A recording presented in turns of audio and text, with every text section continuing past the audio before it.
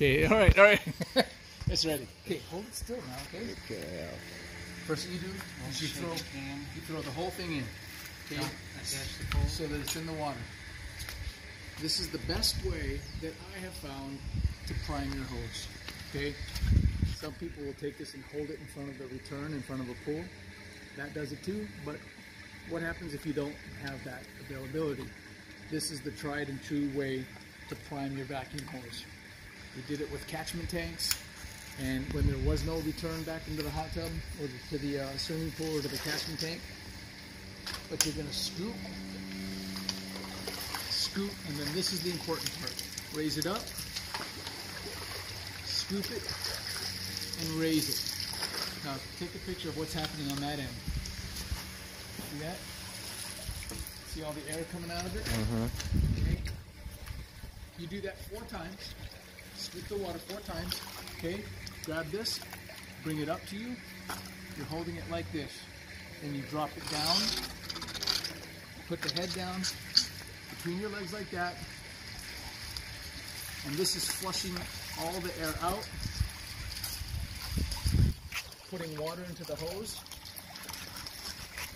If you don't do this, you're to end up doing it over and over and over again, getting really frustrated to try to vacuum the pool. And this works.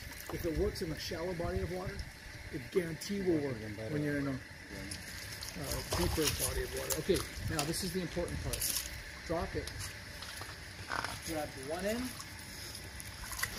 and a bunch of other line together. Okay. Take it over here. All done. The reason why I took as much over to that side is because now you've got 20 feet of water pulling over the edge. Okay? Now you're ready to vacuum, so bring up enough scope and watch this. Oh, I better make it right now. Look at you, all ready to start laughing at me. Keep keep the camera on the money end. What else? You got something to say? Nothing? What do you mean what? You're the cameraman, man. Are you ready for this one? Yeah. All right. You're rolling. Am I rolling? How do I look? Yeah. Good. You're, you know, a little backlit. Okay. Oh, is it? Okay. Let's change position. How about now? Oh, now it's like a movie quality. Oh, really? Yeah. Oh, awesome. Okay. Put it down. Get down like this. The first loop, bend it into position. Second, under. Put it on top. Tighten up the loop. Go like this. Look at these loops down here. You see them? Mm-hmm. Those loops, if you keep going like this, okay, look at what's happening. If I keep forcing it, I create they actually call that in the boating industry. Okay, Can you shake them out at the end though? you can, but it's a pain in the butt. And when you throw the hose back out, it loops in the same direction.